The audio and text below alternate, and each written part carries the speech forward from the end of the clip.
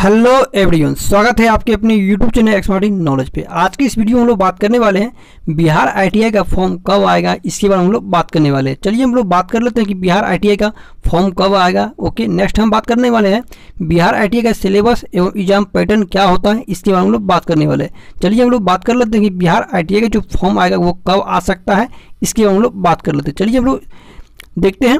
तो यहाँ पे आप देख सकते हैं, ये नोटिफिकेशन दिया गया आपको, ये आपका 2023 का है ओके यानी 2023 में जो आपका आई का फॉर्म आया था, वो कब आया था, इससे हम लोग बात कर लेते हैं। यहाँ पे आप देख सकते हैं, एक डेट आपको दिखाई देता होगा, चौदह चार दो हज़ार तेईस ओके यानी चौदह चार दो हज़ार तेईस को आपका दो हज़ार तेईस में आई का फॉर्म आया था। यहाँ पे आप देख सकते हैं, दिया गया आपको औद्योगिक प्रशिक्षण संस्थान, प्रतियोगिता प्रवेश परीक्षा 2023 आईटीआई के 2023 ओके यानी कि अप्रैल मंथ में आपका आईटीआई का फॉर्म आया था 2023 में।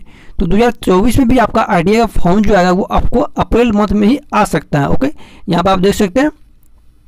डेट दिया गया आपको, ऑनलाइन रजिस्ट्रेशन स्टार्टिंग डेट पंद्रह चार दो हज़ार तेईस, यानी चौदह तारीख को ये आपका नोटिफिकेशन आया था और पंद्रह तारीख से, यानी पंद्रह अप्रैल से जो आपका है, ये आपका स्टार्टिंग कर दिया गया था रजिस्ट्रेशन आईटीआई का। तो आपका जो फॉर्म आने की पूरी संभावना है, वो आपका अप्रैल में आएगा, ओके?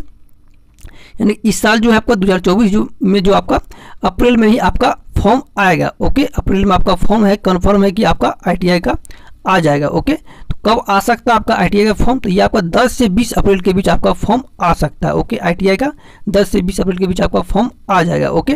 नेक्स्ट हम बात करने वाले हैं कि सिलेबस एवं एग्ज़ाम पैटर्न, यानी कि अगर आप जानना चाहते हैं कि आईटीआई का सिलेबस क्या होता है ओके? और आईटीआई का एग्ज़ाम पैटर्न क्या होता है? इसके बारे में आप वीडियो चाहते हैं तो आप लोग कमेंट सेक्शन में ज़रूर लिखें। इस पर भी एक वीडियो बना दिया जाएगा, ओके? तो आपका फॉर्म आने की पूरी संभावना है कि आपका अप्रैल में आ जाएगा। लगभग एक मंथ के बाद आपका फॉर्म आ जाएगा। ये भी मार्च चल रहा है, आपका अप्रैल में आ जाएगा। दस से बीस अप्रैल के बीच आपका फॉर्म आने की पूरी संभावना है, ओके?